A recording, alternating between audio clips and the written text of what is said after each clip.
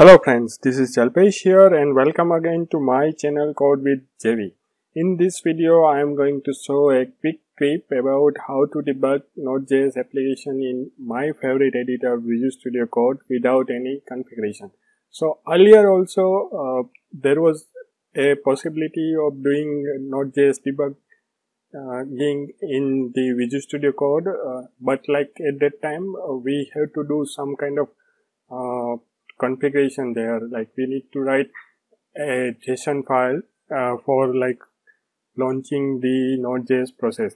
But the quick uh, tip which i am going to show in this video is going to be like pretty awesome and like it will be very easy to uh, uh debug uh, node.js application with visual studio code without any configuration.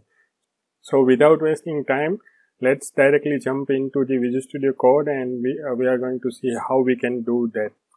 So this is my Visual Studio Code. It's a Insider Edition uh, and uh, here uh, you can see this is a standard uh, Node.js app. Uh, this is the same app which I have used for my Node.js API videos and we are going to see how we can attach the debugging process with the Visual Studio Code. So what you need to do is you just need to press command shift P on the Mac and control shift P in the in the Windows and what need, you need to do is you need to create a, a, a JavaScript debug terminal. So here you need to click those things. So what it will do is like it will create a JavaScript terminal here in the current folder where our application lives and then we just need to run our app via node command. So here you can see it has been automatically detach the uh, debugger there and here like when we listen uh, when we start listening to the pod at that time it is uh, showing me the breakpoint there.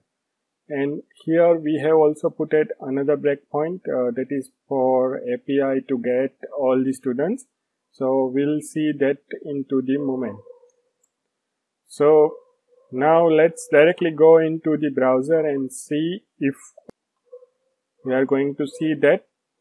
So here you can see now it has got that breakpoint uh, added and this is our student information which is there in this particular array and even you can uh, step into the node.js express framework files.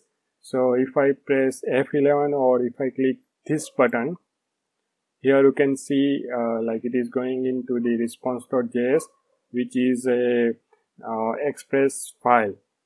And here on the variable part like you can see all these object and whatever uh, things are passed into the particular options. And in the call stack you can see what has been uh, called. So here you can see like uh, uh our router.get method is called which is uh, this one.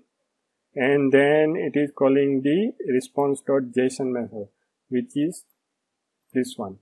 So uh, like you can see very easy to debug now and also uh, we can have a lot more information in the Visual Studio Code now. Uh, that's it for this video and if you like this video uh, then please do subscribe to my channel which is Code JV. It gives me more motivation to create this kind of videos and hope to see you in the next video. Thank you for watching.